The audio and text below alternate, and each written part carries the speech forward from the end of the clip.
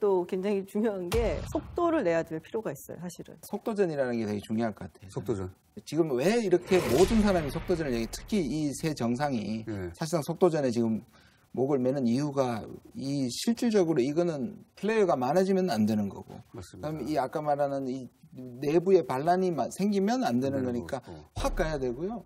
북미 회담까지 빨리 빨리 가야 한다. 예. 이제 11월 6일 날 중간 선거가 있잖아요. 현재 전망은 하원은 아마 민주당으로 넘어갈 거다. 음. 굉장히 많은 사람들이 그렇게 보고 있고 상원은 여전히 공화당이 그래도 유리하다라고 보고 있거든요. 음. 근데 문제가 뭐냐면 하원이 민주당으로 넘어가게 되면은 여태까지 러시아 게이트 수사를 하는데 정보위 같은 데에서 약간 막아왔어요. 공화당이 지금은 잡고 있기 때문에.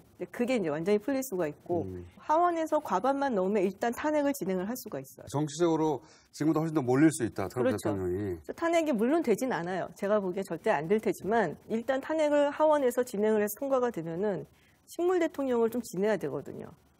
여러 가지로 굉장히 복잡하기 때문에 트럼프 대통령을 구해야 하는 그러니까 절대 됐네요. 정명이 우리가 트럼프 대통령을 꼭 구해줘야 하는 상황이 됐네요. 그러니까 우리한테 시간이 그렇게 많은 게 아니에요. 그러면 한 8, 9월에는 뭔가 과실의 성과가 확 나와야 이번에 북한 문제를 잘 해결해서 이 뭐, 인질들을 데리고 온다. 그러면은 상당히 상징적이죠, 그거는.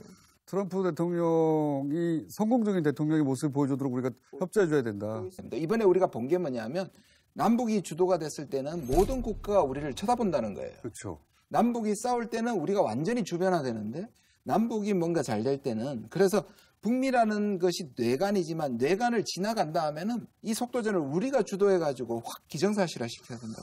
통일보다는 평화를 먼저 얘기해야 되고 주변국을 안심시켜야 된다. 주변국이 우리가 평화로 가는 게 그들한테도 이득이 된다는 걸 우리 설득해야 된다.